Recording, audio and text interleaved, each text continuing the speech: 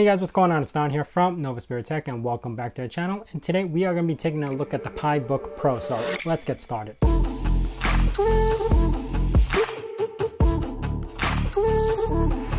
Now before we begin, I do want to thank them for sending this unit over to me for review. And they did not tell me that they were sending it over. I just happened to look at my P.O. box and they left me a little note with the box and this is the contents. So I do want to thank them for sending it over to me and it was a surprise in my part. Now I'm a huge fan of this type of setup. If you've seen my previous videos before with the HP, I forgot the model number, but where I hooked up a Raspberry Pi directly to just a screen and a keyboard, that's basically what this is. It's a screen, keyboard, mouse, and a battery built in so it could power itself while you could hook whatever device you want into it, considering that that device will support DisplayLink.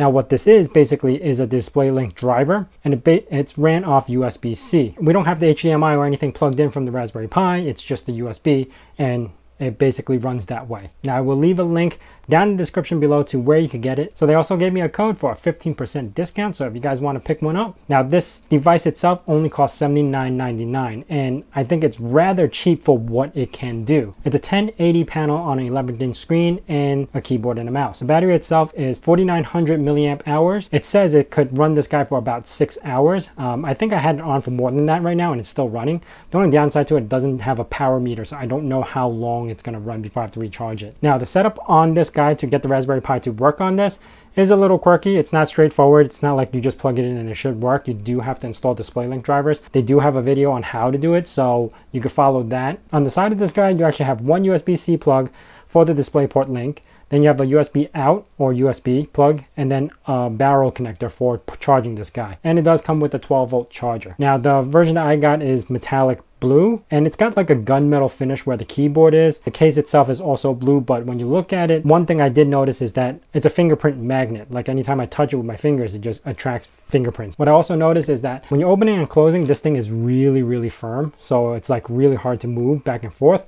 and one thing I did notice is when you close the lid shut, it doesn't close 100%. You really have to like squeeze it at the end just to close it 100%. Typing with this guy felt just like one of those uh, small keyboards. I didn't have any problem with where the position was with the keyboard typing. So it was pretty good as far as the keyboard goes. It does have illumination. So at night you could actually still see the keys. You could turn on the backlight on these things. Uh, the touchpad works fine. It's not the greatest of the quality. Um, the push button where you have to push the left button is a little bit hard to push down. Other than that, it does work. Since this is a DisplayLink and it's not directly out of the HDMI, I was nervous about screen tearing. And usually when I played with older DisplayLink devices, they do have tearing because you are transporting that much data through a USB cable.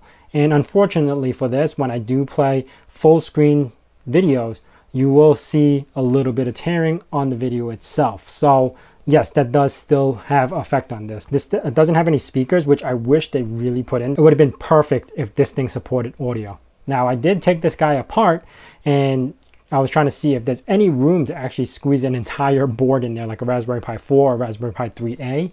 But no, there's actually no room. The battery takes up most of the room. Then you have your DisplayPort uh, card that's taking up the other side of the laptop and that's basically about it. There might be a little room that you could put in a Raspberry Pi Zero, maybe on the bottom where the touchpads are, but that's not much room to leave on this guy. Total weight of this is 2.6 pounds, so it does have a little bit weight to it considering the fact that this is an 11 inch laptop. But ultimately, I do enjoy using this guy because it types better than the HP one that I got, and it feels a little bit more sturdy.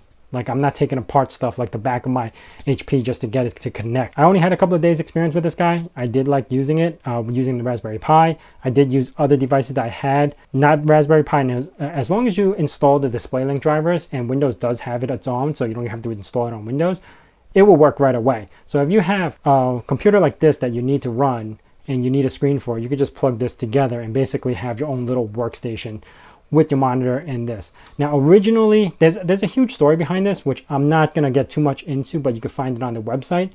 And supposedly this was meant for an Android device. So you're gonna find buttons on here with the back, home button and stuff like that, and the search button made for Android. And ultimately, I don't know what version of Android phone could work with this because, you, again, you need DisplayLink. And my phone, the one that I have, which is uh, the LG, that didn't have a DisplayLink, so I wasn't able to get this to work off the bat. But originally this the idea was to get this to work on android devices but they changed the direction and moved it over to mobile devices like the raspberry pi or pine board or whatever it is that you got. It seems to work out for the better because i like this type of device and the price is actually really good. A 1080 panel and you have like the keyboard mouse backlit keyboard and it's portable with battery function.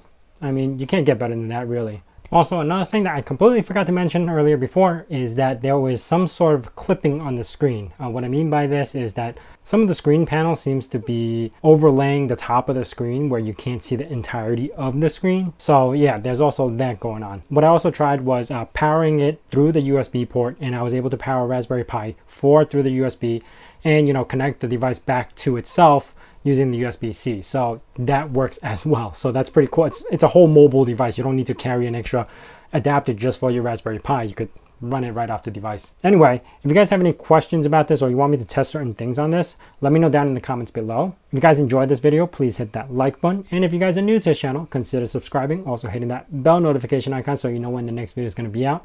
And as I say in my nerd cave, hack till it hurts.